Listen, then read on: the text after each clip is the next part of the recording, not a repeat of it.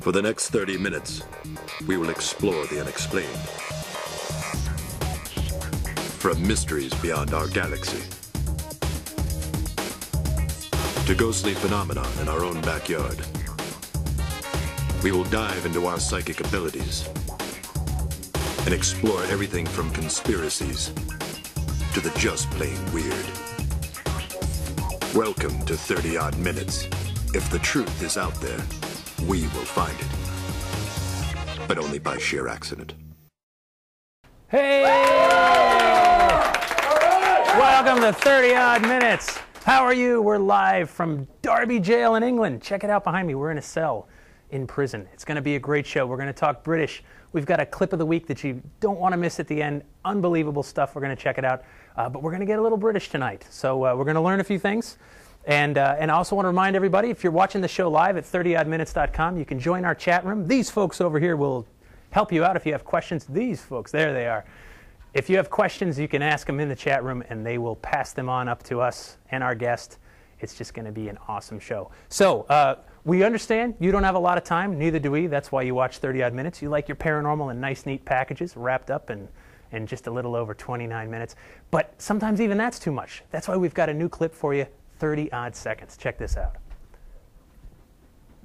30 odd seconds. 30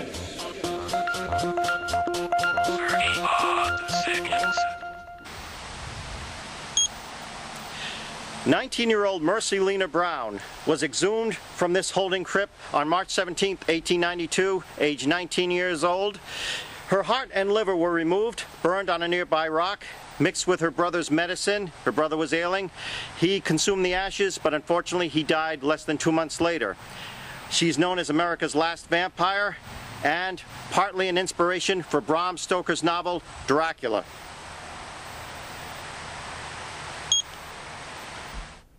Hey, nicely done, nicely done. 30 seconds, that's all we ask. Just be succinct. Maybe one time uh, someone's not going to make it. We'll see. That'll be the fun of that bit. Uh, we got another email this week, which is great. We appreciate all the words. Keep them coming. You can email us at info at 30oddminutes.com. Dear Jeff, greetings. It's Dr. Drek. Don't know if that's a PhD or an MD. Have to check. I love your show, warts and all. Yeah, how it goes.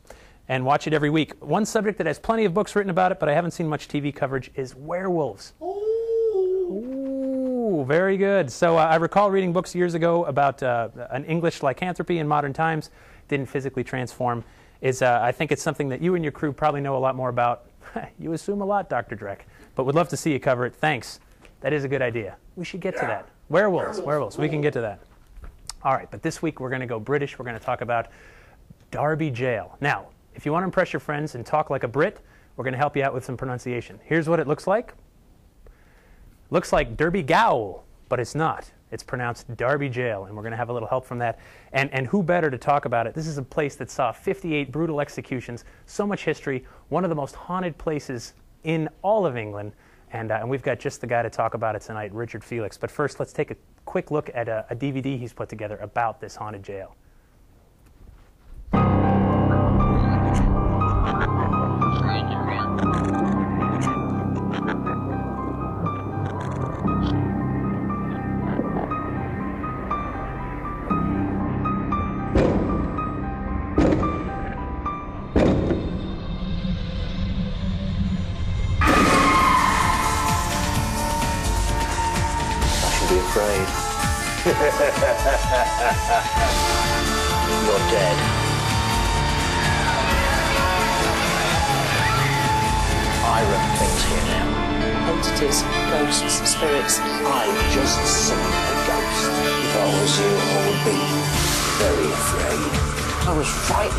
People leave this room feeling violently sick.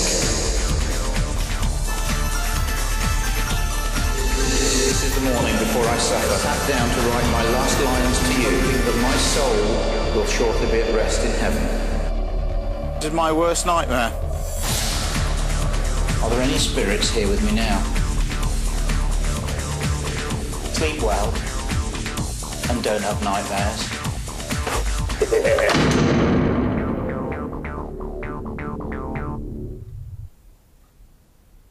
Great stuff, great stuff. Richard Felix, he's an author, historian, lecturer, Perhaps he's best known for his role on the hit TV show Most Haunted. He's investigated haunts all over the world, and uh, he's the owner of Derby Gaol in, uh, in Derby, England.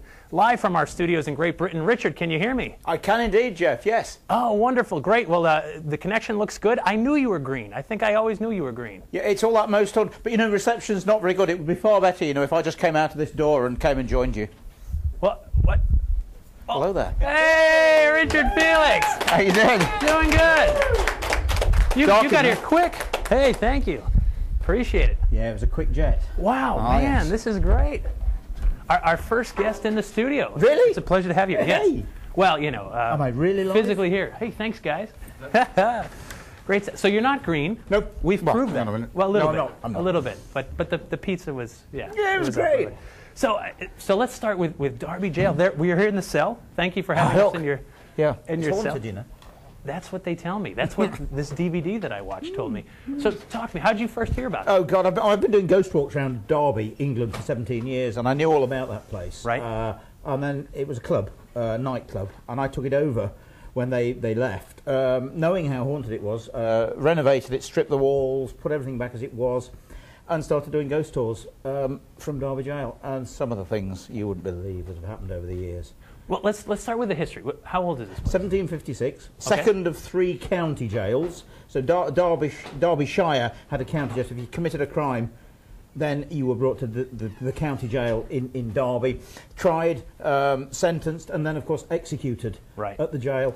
Um, We should take a look at this place. This is uh, it's, yeah. it's a scary place. Yeah, I can imagine. So, you. so what kind of crimes would people oh, commit well, to get in? here? listen, from 1800, there were 200 hanging offences in Great Britain. Oh, wow. You could be hanged for murder, um, rape, attempted rape, burglary, um, setting fire to haystacks, Oh my goodness. um, appearing on the street with a sooty face.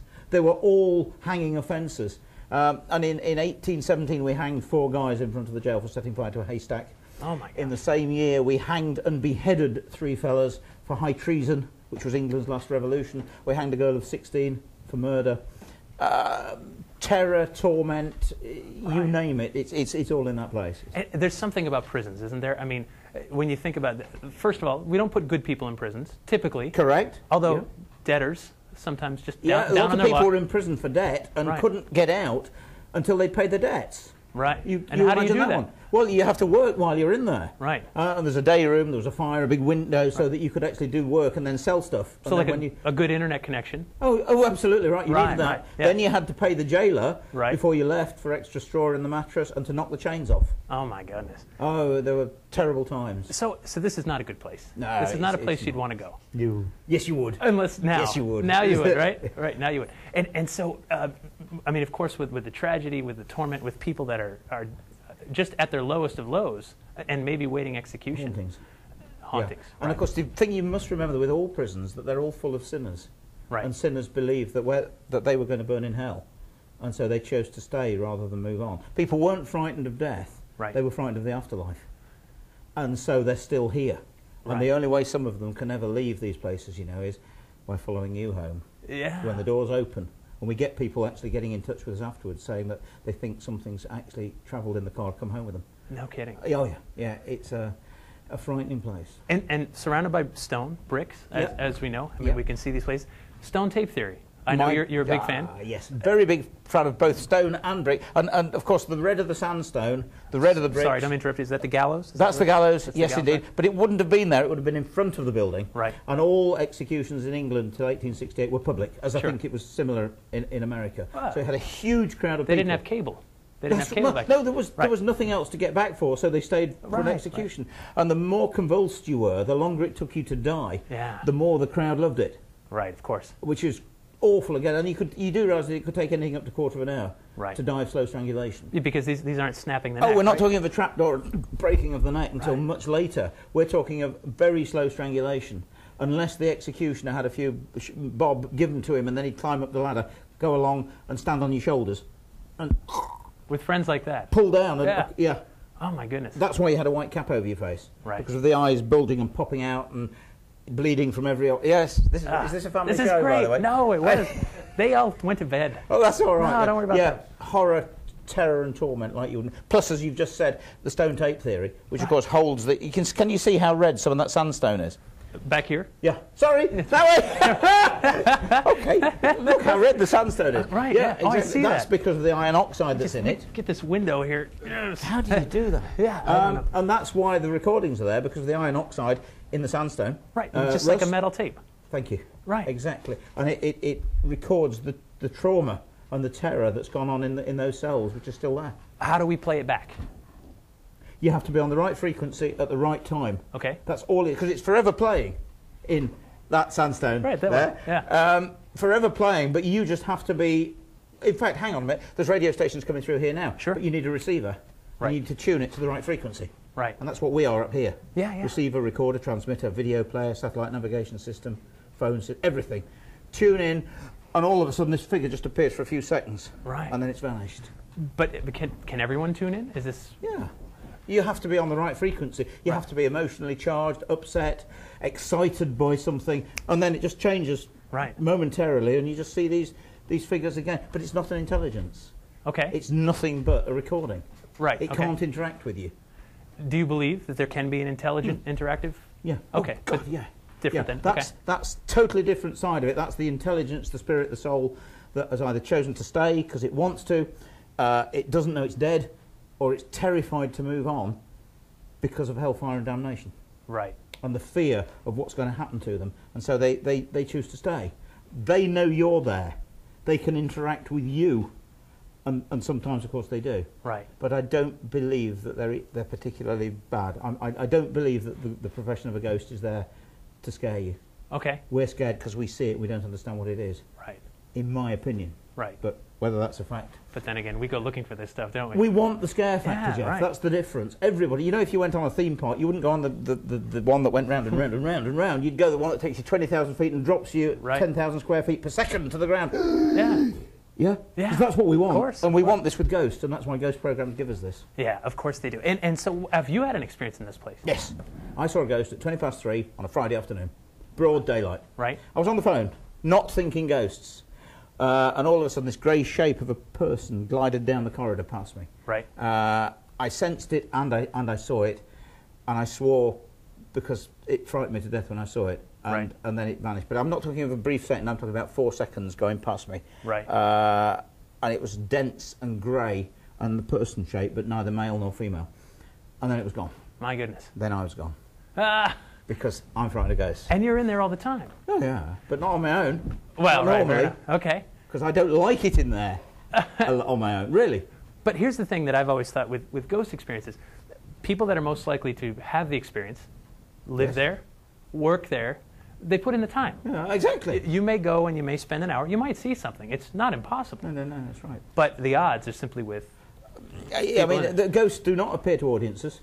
They don't jump through hoops. They don't Right. do what we tell them to do, in my opinion. Right. Uh, and you just have to be in the right frame of mind, usually daydreaming, Okay. usually with an open mind. Yeah, come on, keep going. And then all of a sudden something may appear. Oh, so did you say something? Yeah, you need an open mind. Right, In the same way as, let's be honest, a dog or a cat has, because they've got nothing else in their minds to think about. right. You know, that's why I always Squirrel. say, why, why does why does an elephant never forget? It's Right. got nothing to remember. Right. Um, and so its mind's open. When your mind's totally open and you're walking down the street, daydreaming or not thinking of anything, all of a sudden something it happens. You Yeah. see it, and then it's gone. And then you, reality kicks in, and of course your mind starts thinking, "I'm frightened," Right. and then you lose it.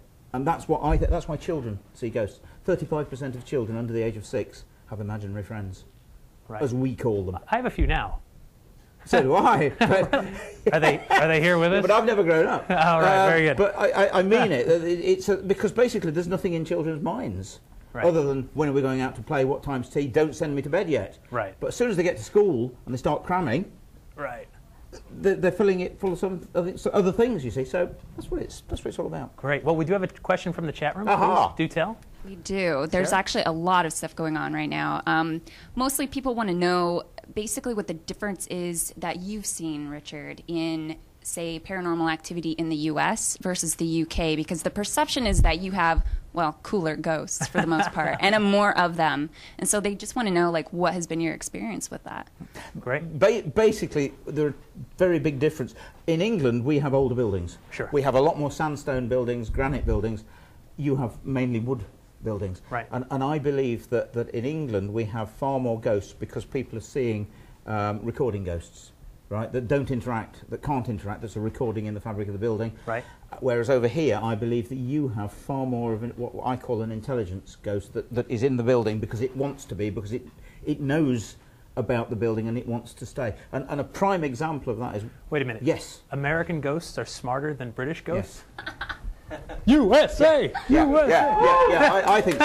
Uh, and to, to, to really add to it, uh, when we did Most Haunted, I went down to the Whaley House. Yeah, sure. Now, San Diego. that Yeah. Whaley House is the most haunted house in California. If you Guess- believe the T-shirt. Guess what? What? It's the oldest brick-built building in California. Sure. Yeah. So in other words, there are far more recording ghosts in the building right.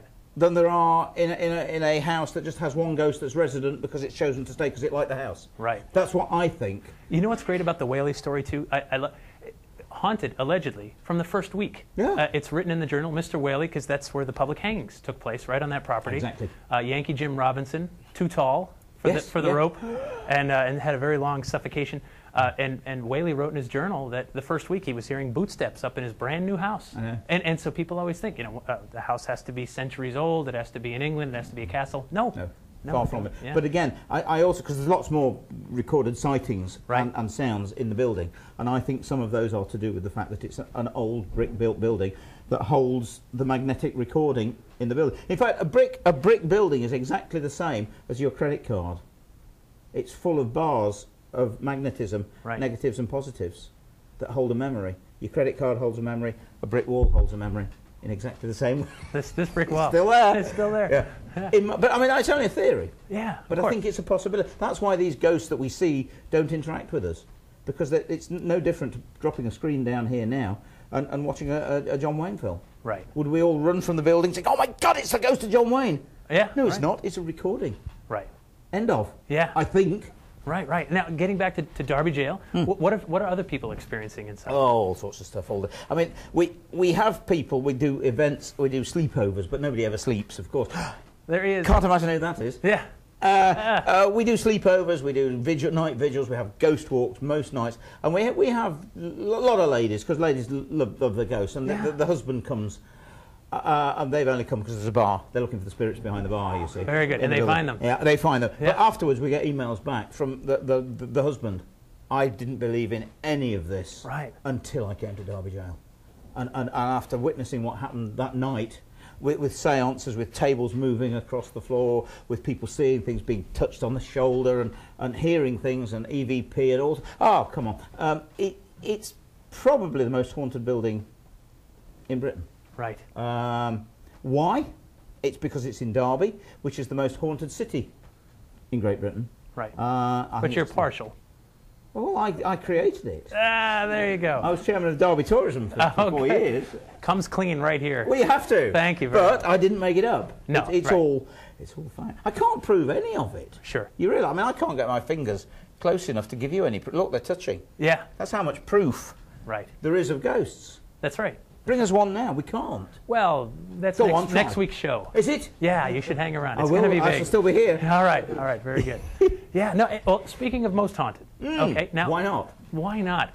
What after being on a show like that? How does that affect you as an investigator? Your ability to now step out of that limelight Yeah, I stepped out um, because I wanted to, to create. I'm, I'm working on programs that are dealing with reality.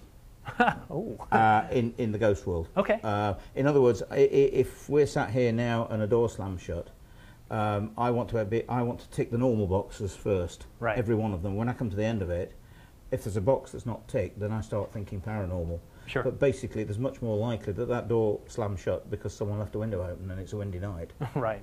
Uh, and that's where I, I'm coming from. Because I believe that the reality behind ghosts is far more fascinating Right. than the Scooby Doo side of ghosts that we're seeing on, on some TV programs and also on Hollywood. Yeah, But I, I know we need the scare factor, Sure. and I know that they're entertainment programs. But I believe there's room for a program that gives it you as it is and explains what it's all about. Do you think there's also room for a program like 30 odd minutes? I'm sure there's a very good room for 30. In fact, yeah, I think we should have it in England as well. Well, we can get it, can we? We can make some, yeah, internet. Internet. It's available online. Yeah, this is great. Yeah, This yeah. is this is it. That's how it should be, right? And it's live and, and Live, no holds bars. No mis- mistakes and all. You've seen them. No, no bars. Hold. Yeah, right. Yeah, pointing in the wrong direction. right. That's right. so, so now, but now, I mean, but books, of course. Books. You're you're an author. I know. Yes. I've got some of your books. You've got a new book. We'll I've talk about that momentarily. I know we did. We met on the Queen. Yes, Mary. indeed. Yeah. We trade. So, but a, a- as authors have been doing this for centuries, Writing right? books. W- writing books about Yes. Ghosts. Um, I mean, gosh, look, look at but the chronicling of it. How do you tell a ghost story? And now we've got new mediums. We've got television, but DVDs where you can control the content Yes, in books. indeed. How do you approach a ghost story? Like, let's just start with you, you heard of a legend. How do you how do you attack that legend? How do I attack it? you attack it, Richard? Well, I mean, I, I first look for the reality because you see, I believe that history and ghosts go together. sure. I'm not interested in there's a grey lady over there. I'm interested in why that. Can you see it? I thought you saw Yeah. a grey lady. Oh my God, you can't do that. I'm sorry. I'm very gullible. I want to know why that grey lady is there. That one. Oh right. Who is she? Can we get a mic on her? What? what? come on, come in, love. Come on, come on in and talk to us. Why is she there? Who is she? What happened to her? What caused her to still be here? Why is she grey? Why Right. isn't she pink? Blue, yellow, green. And, and of course, the big one that most people never think about. What can we do for her? Right. Well, why should we want to do anything? It's a ghost. No, it's not. It was once a human being. That, that, that is probably an intelligence that, for some reason, has an agenda which has actually kept it here. Right. And it shouldn't be here. It should be up there, down there, this this level, this plane, this dimension, this frequency. You know, it should be elsewhere. Right. And it's not. And we owe them something. Right. I think to find out more about what they are. So for me, it's a case of going into the history of of, what, of the haunting first, rather than oh, it's a scary ghost. Right. That's not. I'm not bothered about that. I am because I'm frightened of them. But I, I want to know why they're there, and then you can get to the bottom of, of well, what you can do about it, Right. including possibly if if it needs to be sent send send it on its way. And can can you do that? Yeah, I think so. If it's an intelligence Right. and it's chosen to stay, and it can interact with you, then you can interact with it, All right. and you can help it. The, the old lady that stays in the house, talk to her and tell her, look, love, this is my house now. I, I pay the mortgage.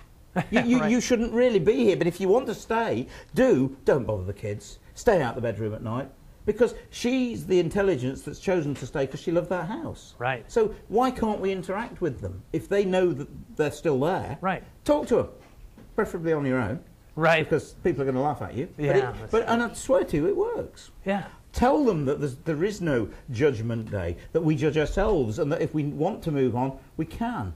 But they daren't because they're terrified of divine retribution, hellfire, damnation, seven deadly sins, ten commandments, purgatory, keep going, all the things that we, Right. we've terrified people with for 2,000 years. Sure. And they're, they're, they're terrified to move. They need help.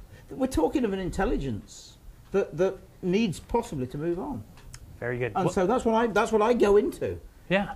And, and reality. And it's, it's a great approach. I think history has to set the stage for these things Yeah. because then it's just out of it's out of context. Yeah, you're exactly. watching you're watching something uh, completely out of context. yeah. We do have another question in the chat room. Sarah, please tell us. Um, so they are wondering if you've noticed any difference in the frequency of entities that have passed a long time ago versus ones who have just recently passed, and if that changes the way that you're able to communicate with them.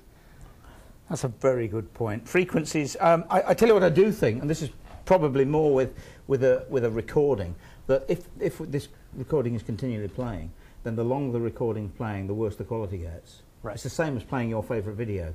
The more you play it, the worse the quality gets. Sure. And so the, the red lady of the 16th century becomes the pink lady of the 17th century and the grey lady of the 18th century until it almost or possibly completely fades away and all you hear are a few footsteps and you just see this hazy figure. But as regards the frequencies of, of, a, of an entity or an intelligence, a spirit or soul, I don't think that frequency changes until something happens. Someone does something to, to, to move it on. Um, because I don't think the frequencies deteriorate over the years. But being not, not being a scientist or, or into that side of things, I'm not sure. I don't know, Right, right. to be honest with you. Well, so it all comes down to, and this is really what we've been talking about all night. What is The a book. ghost? What is a ghost? Uh, it- it's great job. Uh, uh, so the whole idea is, we don't know. There's so many theories. You you gathered them from a lot of folks Yeah. in here, and um, it just came out literally like last week, right? Which is exciting. talk to us. We've talked about stone tape. We've talked about intelligent haunting. Are there other? Oh yeah, yeah. There's so many different sorts. Uh, do you know? That, so, well, you you do, of course. that About forty percent of all ghost sightings Tell are them. live people.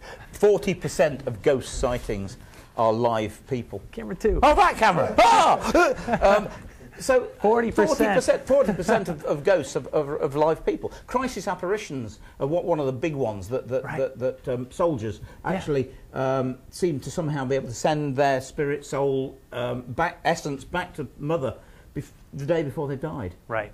That sort of um, harbingers of death. Doppelgangers, right? Doppelgangers, Yeah, sure. you- doubles, harbingers of death, black dogs, banshees. That, that they follow. I mean, if you if you're Irish and you've got O um, uh, before your name, um, then there's ch- every chance you've got a banshee, and it will travel. And many many banshees actually travelled from Ireland across the Atlantic and are here now uh, in America with the Irish families. Well, uh, there's certainly a strong Irish heritage here. Yeah. And, uh, but these legends are. and- explains my ex. Ah, thank you, Matt. It- this is what's this is what's great about people. Yeah. Everywhere. It doesn't matter where. We've got our legends. We've got our folklore. We've got our true history, uh, and we also have uh, evidence that turns up now and Mhm. again that just puts us on our ear. Now. We're, we're running down to the, the very end here, but we've got we've got a segment that we run each week, a, a paranormal clip of the week. Right. And this week we're going to get uh, we're going to get Ron Kolek from the New England Ghost Project I on the phone. well. Yes, uh, we're going to get him on the phone here and see if we can uh, dial him up.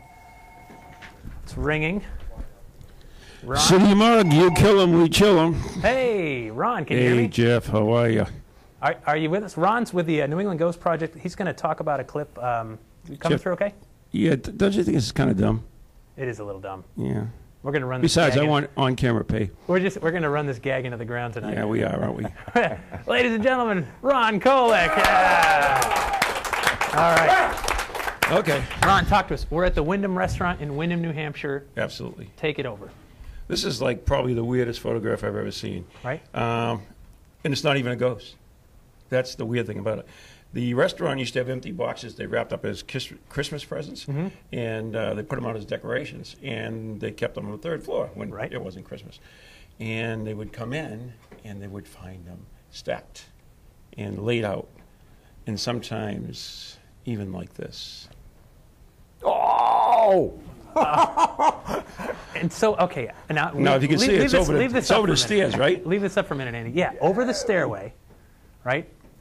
So, okay, first of all, you'd need multiple people if you were going to do something like Absolutely. this. If you were going to fake something like this, but you were telling me there was something with space between the boxes. Yeah, yeah, right. Actually, if if you look really close and you have like X-ray vision, you can see there's actually space between the wall and, the, and each of the uh, presents. So they're not actually on the wall. There is a little bit of space. Stuffed between over the stairwell, so you'd need ladders, you'd need people. Yeah. Um, and and someone comes in and finds this and clicks a picture and.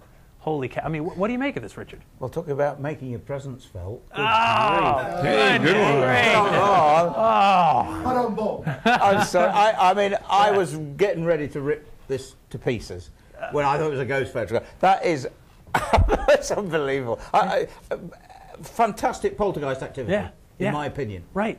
Definite poltergeist. Whether it's a dead, a spirit or a person. Now wait a minute, Richard. in, I don't know. It can't be. I thought you had to need a little teenager running around for poltergeist. No.